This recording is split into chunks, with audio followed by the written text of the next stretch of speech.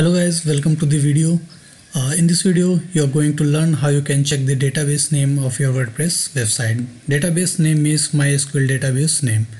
So first of all go to your hosting shared or VPS and log into your cPanel then uh, scroll down uh, under the file section.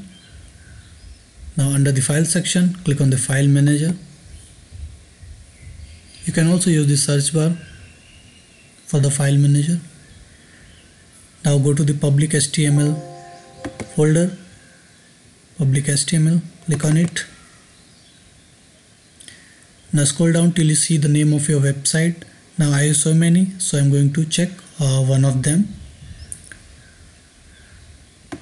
Click on the double click on the website name. Then you need to go to the uh, wp config file. Find out the wp config file which is right here. Now right click and click on edit okay now again click on edit.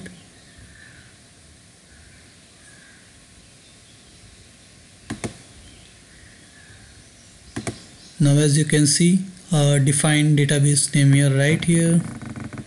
So this is your database name of this website abpsn wp671 now you can make use of this uh, database name under the in the mysql database to change password to you know rename it and all that. So this is how you can find out. Uh, it was a very simple video. So thank you for watching it. Please subscribe uh, like this video.